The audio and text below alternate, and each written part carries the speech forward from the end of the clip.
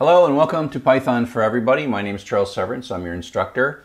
And in this particular video, we are going to do exercise uh, 7.1. And this honestly, even though it's a really simple exercise, is one of my favorite exercises in the book because in chapters 1 through 6, we've been just kind of learning the basic mechanics. It's like we just, um, you know, it says bonjour and we say bonjour and it's we're, we're learning, but it's not very fun because we're not really solving it. So this is our first program that's going to read a file and do something with it. And the only thing we're going to do is we're going to convert it to uppercase. So it's just a really simple file, okay?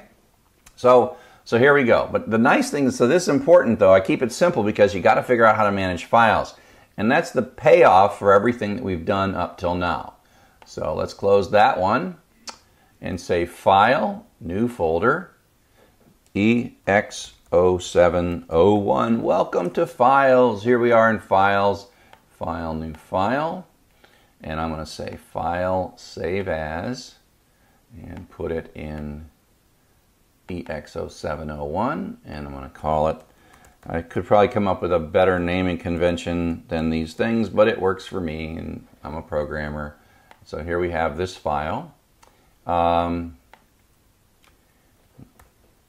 Let's start up a shell, a terminal program, command line in Windows, um, shell in Unix, CD desktop, CD Python for everybody, folder in the desktop, oop, Py4E, CDEX07 tab to get me to that.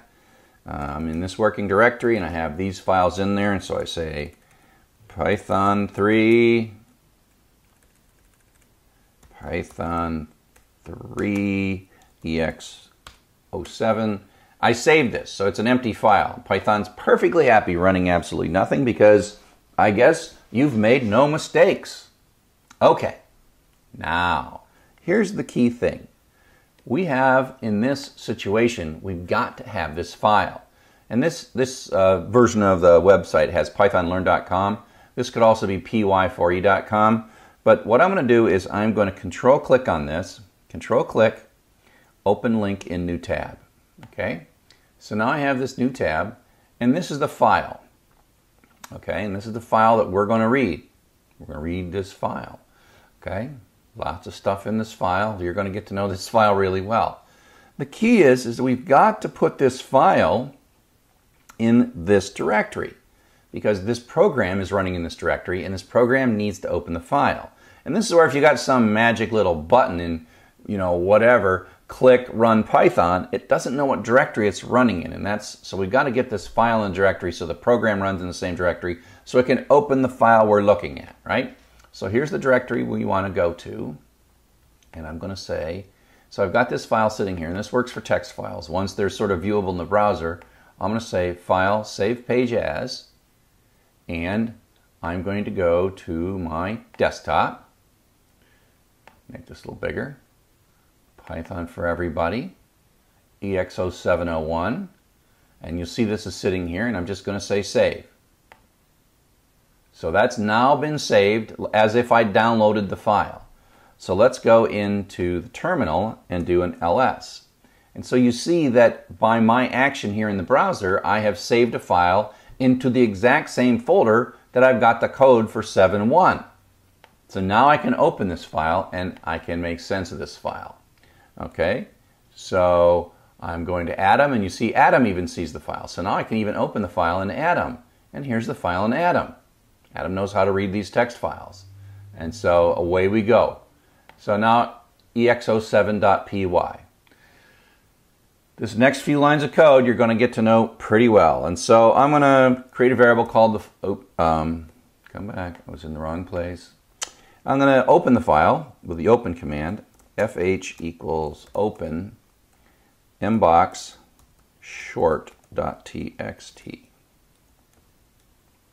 Now remember that open does not actually read the file. It kind of gives us this little portal where we can take a look at the file. And so if I print FH, you might expect that it would contain all this data, but it doesn't. It just is a file handle. So let me run that. Python 3 ex07.py. Okay, so it's it knows some information. This we'll learn later what objects are. This is a Python object that has some information in it, but the information in this object is not actually the file data. To read the file, we're going to write a while loop. I mean a for loop, sorry, not a while loop. So we're going to say for lx, again, that line is a good name here, but I want to use a non-mnemonic variable. For line in fh. And then I'm just going to say print lx. Okay, so this is going to loop through every line in the file and print it out. I'm going to have to make this a little bigger now because it's going to be very chatty. So that is just a loop to read through. Maybe make this a little smaller. There we go. Oh boy, oh boy, oh boy. Missing parentheses in call to print. What am I doing wrong here? Well, the problem is, is I've been using Python 2 for so, so long that when I'm not drinking enough coffee, then I'm going to talk Python 2. So the right way to do this, so let me just run this in Python. Uh, never mind, I won't run it in Python 2. I'll just fix it because prints co in parentheses in Python 3.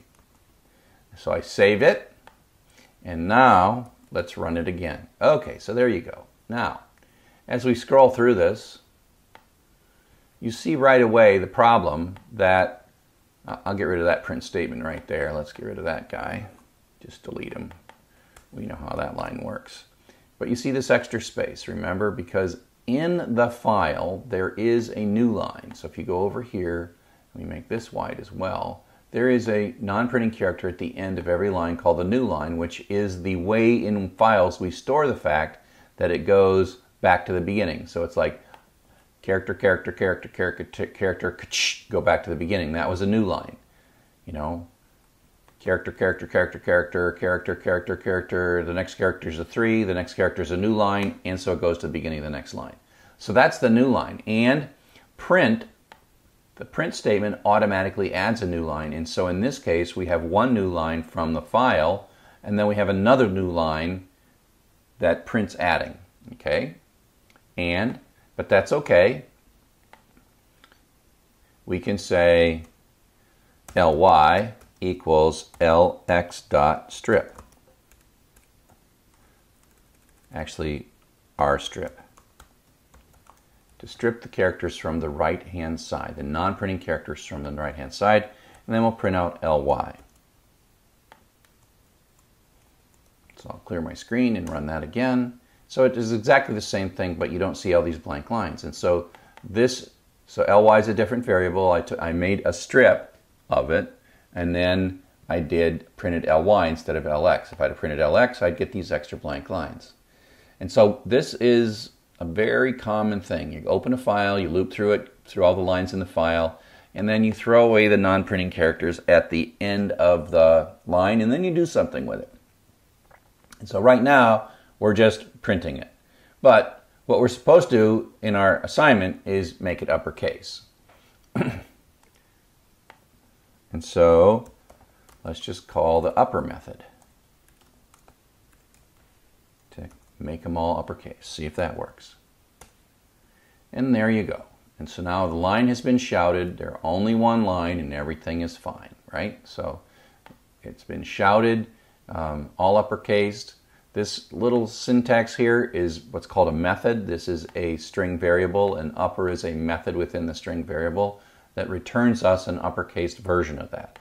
And again, that's object-oriented terminology, and we will learn about that in an upcoming chapter. But for now, we just sort of type it and understand it, and later we'll understand better that there's a whole series of things you can do after this dot uh, for, for a variable in, uh, in Python. And so there you have uh, the exercise 7.1 um, for the book Python for Everybody. I hope you found this useful. See you on the net.